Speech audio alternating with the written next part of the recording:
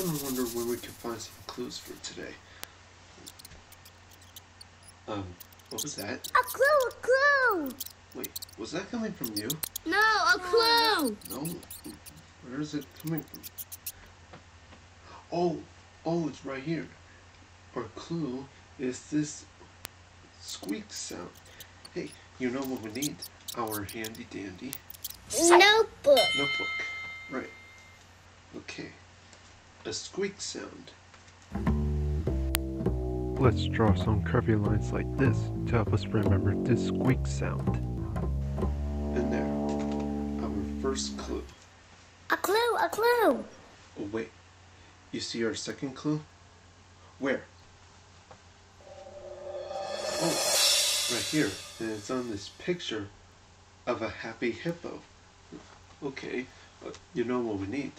Our handy dandy Notebook. notebook. Right.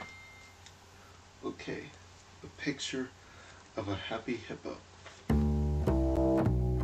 First, we'll draw a line around for the hippo's head, and the face,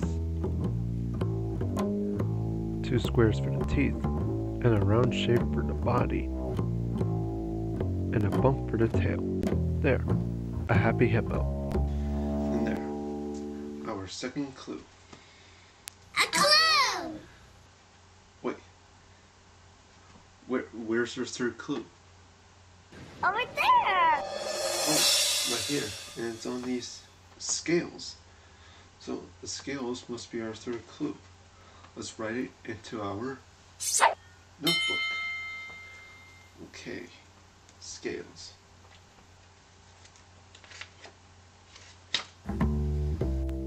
Let's see. To draw some scales, maybe we can draw some rows of half circles. And there, scales. Hey, we have all three clues. You know what that means. We're ready to sit in our Thinking chair. chair. Let's go.